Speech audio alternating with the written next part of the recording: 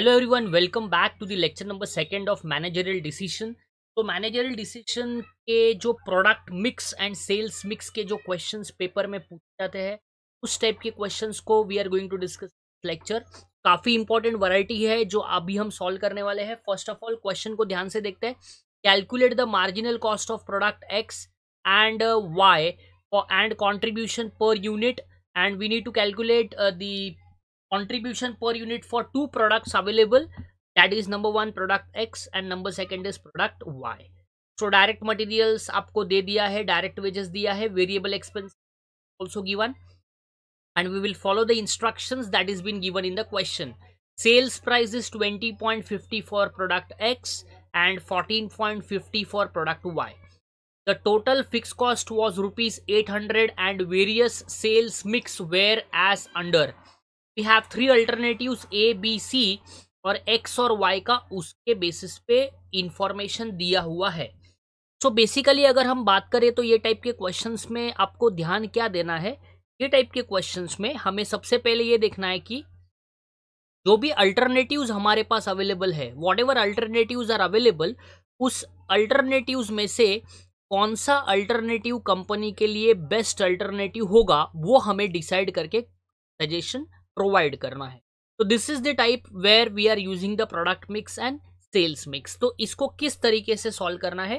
ध्यान से समझेंगे बिकॉज़ ये वैरायटी काफ़ी इंपॉर्टेंट है। पेपर में बार बार पूछा जाता है इस टाइप का क्वेश्चन देखते हैं क्वेश्चन को कैसे सॉल्व करना सबसे पहले सबसे पहले हमें क्या करना है? सबसे पहले हमें एक स्टेटमेंट बनाना उस स्टेटमेंट का क्या नाम देंगे? काफ़ी इंपॉर्टेंट है। स्टेटमेंट का नाम देंगे statement statement of contribution per unit क्या नाम देंगे? Statement of contribution per unit काफ़ी सिंपल है। मार्जिनल कॉस्टिंग आपने पढ़ा ही है तो मार्जिनल कॉस्टिंग का जो फॉर्मेट है, वही format we are using sales minus variable cost तो we will get the answer as contribution per unit तो ध्यान से अभी पहले क्वेश्चन को देखते देखो फ़र्स्ट में आपका सेलिंग प्राइस कितना है? ट्वेंटी पॉइंट फिफ्टी सेकेंड में है फोर्टीन पॉइंट फिफ्टी तो पहले उसको हम लिख देते हैं। तो यहाँ पे ध्यान से काफ़ी इंपॉर्टेंट पॉइंट आपको लिखना है। सेल्स जो है फ़र्स्ट में है आपका twenty point fifty and Y का है आपका fourteen point fifty then we will we are going to write the variable cost तो वेरिएबल कॉस्ट में देखते हैं। तो वेरिएबल कॉस्ट में we have direct material we have direct wages and we have direct expense ठीक है? तो ten point fifty plus three और वेरिएबल एक्सपेंसेस बोल रहा है हंड्रेड परसेंट ऑफ़ वेजेस तो वेजेस का हंड्रेड परसेंट मतलब यहाँ पे भी थ्री आएगा। तो this is ten point fifty this is three this is also three similarly ये सेकेंड वाले का भी ऐड करना है। तो वो अभी मैं यहाँ पे डायरेक्ट लिख रहा हूँ। यहाँ पे ब्रैकेट में स्पेसिफाई कर देता हूँ। Direct material plus direct wages plus variable overheads ठीक है? सभी को अगर आप ऐड करोगे तो आपको आंसर मिलेगा सिक्सटीन पॉइंट फिफ्टी। सेकेंड वाले में आपको आंसर मिलेगा twelve point fifty.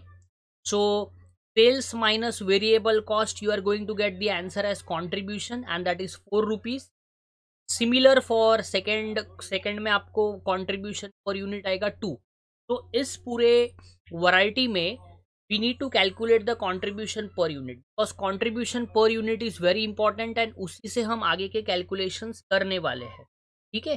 तो अगर हम यहाँ पे मैं आपको वेरिएबल कॉस्ट का कैलकुलेशन भी करके बताता हूँ। वेरिएबल कॉस्ट कैसे आया था? डायरेक्ट मटेरियल कितना था हमारा? Ten point fifty plus direct wages कितना था हमारा? थ्री और डायरेक्ट ओवरहेड से वेरिएबल भी थ्री है हंड्रेड परसेंट बोला है। का टोटल हमारा आ जाएगा सिक्सटीन पॉइंट फिफ्टी ठीक है? ये हमारा एक्स के लिए है। Similar we are calculating for Y Y के लिए कितना था हमारा? एट पॉइंट फिफ्टी फिर ये सेकेंड वाला टू था और ये भी हंड्रेड परसेंट बोलता है टू ये हमारा बन गया twelve point if you add this will get sixteen point fifty all this we are going to get twelve point fifty and this I have presented over here अब ये हमारे points मिलने के बाद अब हमें करना क्या है? अब हमें यही कंट्रीब्यूशन लेके एक एक सेल्स मिक्स को सॉल्व करना है। uh, हमारे क्वेश्चन में आप ध्यान से अगर देखोगे तो we have three alternatives alternative A है अल्टरनेटिव बी है और अल्टरनेटिव सी है। तो हर एक अल्टरनेटिव हमें सॉल्व करना है। अल्टरनेटिव एक्स वाई ए में एक्स और वाई बी में एक्स और वाई सी में एक्स और वाई तो कैसे करने का? तो सबसे पहले हम अल्टरनेटिव वन को सॉल्व करेंगे, ठीक है? अल्टरनेटिव वन तो अभी देखो अल्टरनेटिव वन में कैसे सॉल्व कर रहा हूँ? ध्यान से फॉर्मेटिंग समझना। थोड़ा सा प्रेजेंटेशन ध्यान से समझेंगे। एक है पर्टिकुलर्स का कॉलम और एक है हमारा अमाउंट का कॉलम ठीक है? थोड़ा सा प्रेजेंटेशन ध्यान से समझ। कॉन्ट्रीब्यूशन ऑफ़ एक्स ठीक है कंट्रीब्यूशन ऑफ़ एक्स कितने यूनिट्स थे? हंड्रेड यूनिट्स थे। हमारा एक्स का कंट्रीब्यूशन कितना आया? फोर आप बोलेंगे हंड्रेड यूनिट्स कहाँ से लाए? देखो। एक्स के लिए यहाँ पे कितने यूनिट्स है? हंड्रेड और वाई के लिए कितने यूनिट्स है? टू हंड्रेड ठीक है कॉन्ट्रीब्यूशन कहाँ से लाया? कॉन्ट्रीब्यूशन हमारे पास ये अवेलेबल है फोर और टू यही हम लेने वाले हैं। तो ध्यान से काफ़ी इंपॉर्टेंट है hundred multiplied by four that is four hundred similarly plus करेंगे कॉन्ट्रीब्यूशन ऑफ़ वाई तो वाई के लिए कितने यूनिट्स दिए थे? टू हंड्रेड दिया है। रेट क्या है उसका? टू रुपीज़ तो 200 हंड्रेड इंटू टू करेंगे तो यहाँ पे आ जाएगा 400 अगेन तो if you add both this you will get the answer as 800 and this 800 is called as what this 800 is called as total contribution तो हम क्या कहेंगे?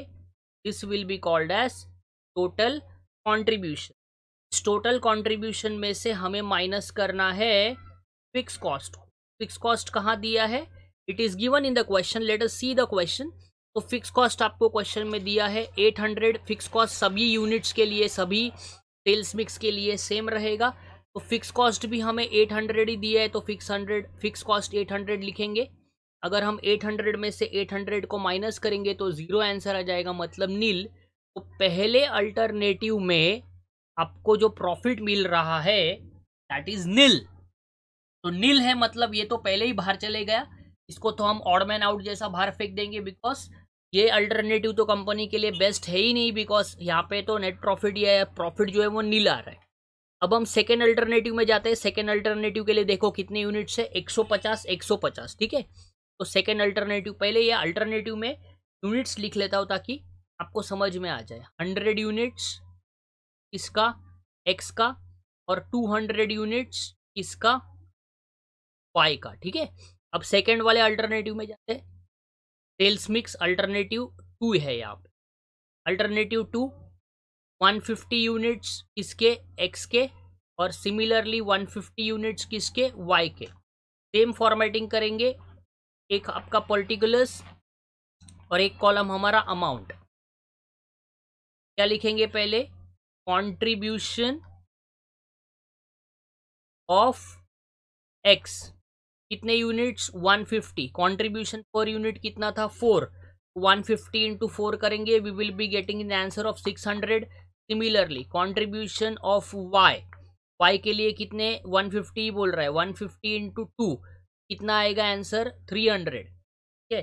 फिर 600 प्लस 300 करेंगे तो we will be getting an answer of 900 and this is called as total contribution जैसा last time लिखा, वैसा ही करना है। काफ़ी सिंपल है, लेकिन हमेशा सिंपल चीज़ों में ही सिली मिस्टेक होता है। इसमें से हम माइनस करेंगे फिक्स कॉस्ट को। तो फिक्स कॉस्ट तो आपके सभी अल्टरनेटिव्स में सेम रहेगा। एंड दैट इज़ 800 अगर हम 900 में से 800 माइनस करेंगे तो we will be getting an answer of 100 and this is your total profit यहाँ पे प्रॉफिट आ चुका है। अल्टरनेटिव टू में तो प्रॉफिट आया है। अल्टरनेटिव वन तो पहले ही बाहर चले गया बिकॉज़ उसमें प्रॉफिट नहीं आया। अभी अल्टरनेटिव थ्री में जाएँगे, लेकिन पहले यूनिट्स देख लेते हैं। टू हंड्रेड यूनिट्स है और हंड्रेड यूनिट्स ठीक है? टू हंड्रेड और हंड्रेड याद रखना। फिर अल्टरनेटिव थ्री में जाते हैं। ठीक है, यहाँ पे अल्टरनेटिव टू हंड्रेड यूनिट्स है एक्स के और हंड्रेड यूनिट्स है हंड्रेड यूनिट्स है वाई के। सिमिलरली कॉलम आएगा हमारा पर्टिकुलर्स और एक कॉलम हमारे लिए रूपी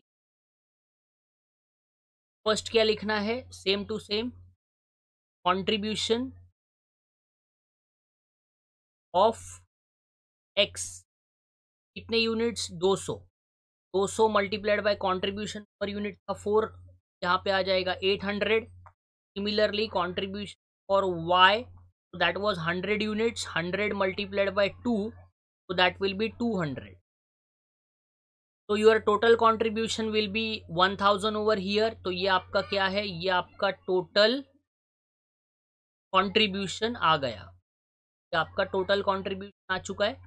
इस टोटल कंट्रीब्यूशन में से हमें क्या माइनस करना है? हमें माइनस करना है। फिक्स फिक्स कॉस्ट हमारा फिक्स है सभी के लिए 800 यहाँ पे हमको प्रॉफिट आ रहा है 200 we are getting the total profit in this sales mix as 200 और अगर हम ध्यान से देखें तो अल्टरनेटिव वन में वी गॉट नेट प्रॉफिट या profit of zero that is nil alternative second में we have got profit of hundred and alternative three जो है we have got profit of two hundred तो if I ask you on the basis of three alternative which is the best alternative तो obviously simple चीज़ है।